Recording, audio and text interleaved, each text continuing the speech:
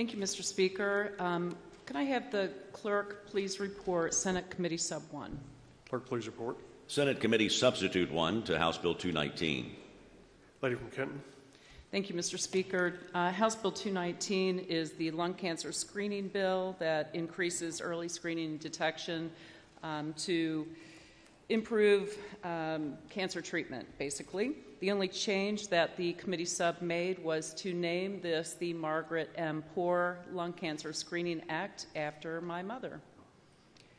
Um, if there are no questions, I move that the House does concur with Senate Committee Sub 1.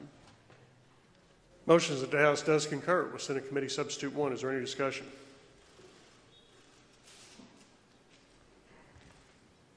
Seeing none, those in favor signify by voting aye. Those opposed, nay. House does concur with Senate Committee Substitute 1. Lady from Kenton. Thank you, Mr. Speaker. Um, I move for final passage of House Bill 219 as amended by the Senate Committee Sub 1.